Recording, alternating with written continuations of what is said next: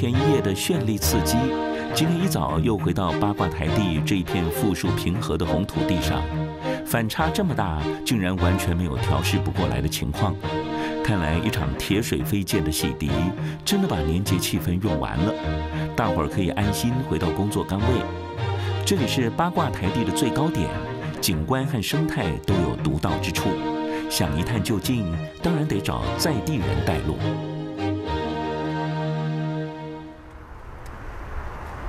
看到老鹰就知道到了。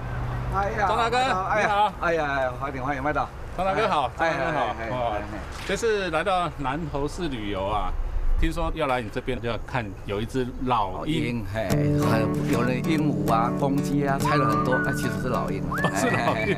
其实看起来其实也蛮符合今年是鸡年啊，哎对对对。很多人来说应该猜是公鸡哎，对对对对，还以为说我们这个特地为今年的鸡年特别设立的呢，哦，真的哦。那当初怎么会立一个老鹰在这边呢？因为三月底四月初，呃，在南部过冬的南路鹰啊，会沿着八卦山往北。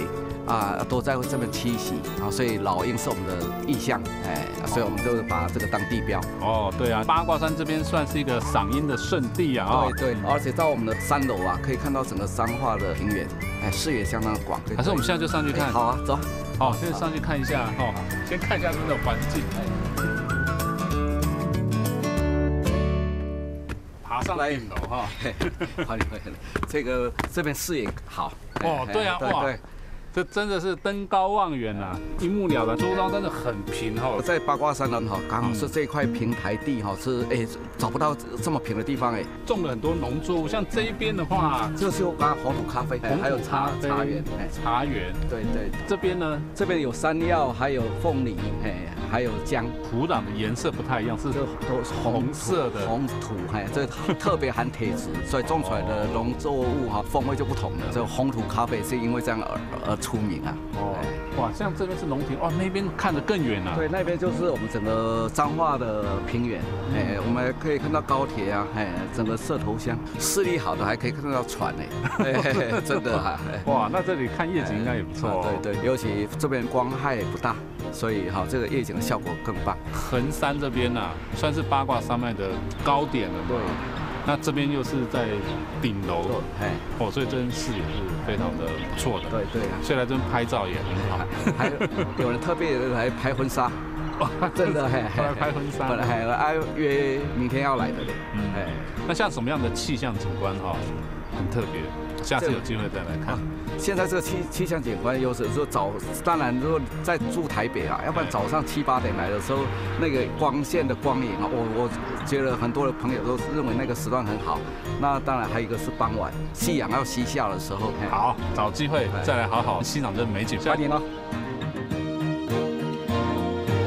小公啊，张大哥，谢谢啊，谢谢。这边吃饭真的非常有气氛的啊，因为就在这个田中间旁边就是可以看到很多田，然后都是看到庭园。嗯，这个我们衡山的在地特色啊，张大哥今天帮我准备的是德国猪脚脚，哎。哦这看了，哇，这看了就非常可口了。那张大哥，你今天你自己吃我什么？是南瓜锅。哦，南瓜锅。对对对，哦。哦，都是我们在地食材的，啊，这个是师傅哈特别的料理，哎这样子啊。哎，对，哎。哎，，这样看一下哈，这样我这边这样是一人份吗？啊，这是一人份，还一人份，所以我们窑烤面包哈还是都免费供应啊，还可以续，哎，哦哦哎，这可以对对对，吃完还可以再再对对续这个面包这样子哦对对对。哦，这样子，这一人份。会不会太大份了？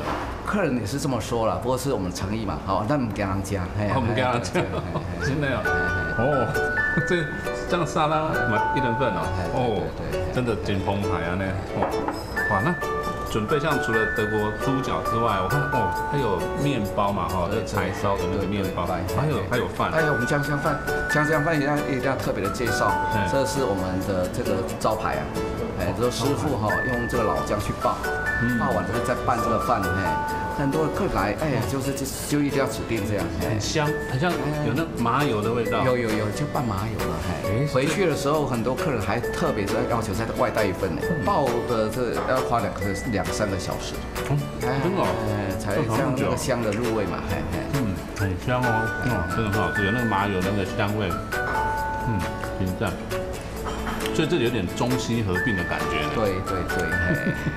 这个，所以这个也是我们的特色吧。特色哦哎哎哎，这个中西合并。张大哥讲的，要很有诚意这样子。哇，那里面就是尤其是南瓜，南瓜我们这个衡山呢就叫南瓜寮，哇那哎，所以这个南瓜是我们就我们在地的这个农特产品。嗯哎哎，那哎那个是我然后一个麦导来试看看。哦那样，哎谢谢谢谢哦，这个我们这个里面啊，还有还有口还有这德国个猪脚要吃这个南南瓜丁哦，还这个还哦，有看到南瓜，哎哎，还有两种瓜是不是？哎芋头，哎哎，最主要是南哈这个好，哎呀这个是地瓜，哦，地瓜，哎哎哎，哦，所以它是南瓜加地瓜这样。哎哎，啊不过是以南瓜为主啦。哦，谢谢谢那，那张大哥也一起来。现代人讲求吃的安心健康，希望吃到食物的原貌，而不是加工品。在这里，不但吃的是食物原貌，而且食材就在窗外的农田里长着。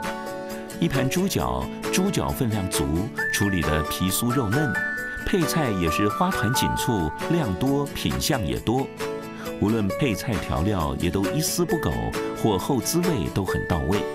还有几样酱汁，据说是大厨独家配方，细节不能透露。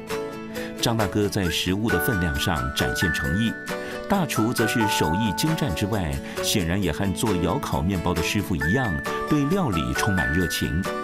原来八卦台地上人们诚恳和气，却在工作投注热情。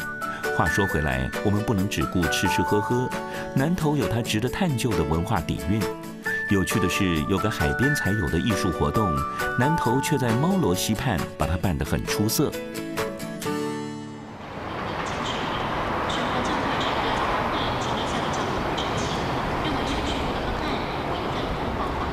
非假日啊，还弄顿来到这个沙雕展这边观赏哦。是，局长新年快乐。欢迎你，欢迎你，新年快乐。那局长，我们一般看沙雕都是在海边嘛，是，那我知道台湾就是就是南投没有靠海，也可以办沙雕展啊。对，其实我们原来哈、嗯呃，也曾经在这个猫罗溪的河畔哈、在清水区里面，我们也有办沙雕展，但是那个都是短期、短期性的啊、大概就一两个月，呃，从过年到元宵这段期间。但是因为你投入的资金跟人力其实那是一样的哈、它受到这个季节的影响，可能大水一来之后就全部通通被冲走，化为乌有。所以呢，我们林明珍县长啊，他认为说，哎，既然花了那么多钱，花了那么多的这个力气在这里头哈、嗯那应该让它这个展期可以长一点。所以呢，他就突发奇想，就希望能够把它移到陆地上来。那正好呢，啊，我们在这个河堤旁边啊有高速公路，那这个桥下本来就都是闲置的土地，把这个闲置的土地啊拿来做充分的利用。那同时呢，又能够在这里建置一个比较常态性的展览，那一展就可以可以展一年哦。那这样呢，可以发挥它更高的效益。因为没有靠海嘛，就没有沙子。那像这边的沙雕展的沙子要怎么来啊？对，这个坦白讲，就是我们南投的得天独厚，南投的这个沙哈、算是我们特有的资产。在猫罗溪里面啊，这种沙呢非常的多，而且呢，这个叫做黄金沙。一般的那个沙子它是带一点黑色啊、那我们这个沙子带一点黄色。金黄色呢，就是里面它带有一点泥土，就是沙跟泥土它是混合在一起，泥土它是带有一点粘性的。所以我们用这个来做沙雕的话，几乎不用再添加任何的人工化学药剂，非常的符合环保跟生态。那如果说我们这个沙子用完之后，再让它回归河流，再让它回归大地，那完全不会影响到生态。沙雕展区非常大，而且利用高速公路当做天然的一个屏障，是这区域真的非常的大。不过我们一进来的时候就看到一个门，这个就是南投之门啊、它是一个入口意象。这个造型呢是我们南投的 logo，那哦它是代表南投有很多的高山。从这个地方开始呢，就引导大家进入南投之境。我一知道说这边就是代表南投，因为我有看到玉山主峰啊，这里们要看我们台湾最高峰啊，就是玉山主峰啊。对，哇，这个碑是要爬两天才会上去看得到，来到这边半天就可以看。是啊，玉山主峰不只是南投的地标，可以说是台湾的地标啊。对对，如果说没有机会可以去玉山正式登顶过的话，哈、嗯那来这里拍一张照片，那就把它带回家做纪念。嗯那这座玉山跟上面这些字跟玉山主峰的那个整个意象是完全是一样的。哦哦，我们等于是如法炮制，它是一个缩影，对啊，它那个字写的跟我们在玉山主峰看都一样哎，是哦，那是同一个人写的。同一个人写的。同一个人是什么人？那是民国七十八年到八十六年担任八年南投县长的林元朗先生。老县长的哥哥更有名，担任过司法院长的水牛伯林洋港。两人都有一口亲切的南投口音国语，同时也是南投人眼中永远的老县长。除了风格独具的政治人物，南投拥有最高的山、最大的天然湖泊日月潭，还是最长溪流浊水溪发源的地方。而台湾的地理中心也在南投，拥有这么多地理特性、名山胜景，当然要透过沙雕，把十三乡镇特色好好表现出来。创作者更不忘把南投孕育的特殊生物捏塑呈现。山椒鱼是我们熟悉的老朋友了，虽然塑造得很像，但放大之后有种卡通感，别有一番趣味。除了沙雕灯会，今年元宵南投还推出适合小朋友参观的恐龙展。沙雕展期一整年，恐龙展到五月，现在去都还来得及欣赏。不能否认，MIT 台湾志多年来对南投有些偏爱。今年灯会在这里度过，走入此门，愿大家平安顺利。今年南投的山水依然会有我们的足迹。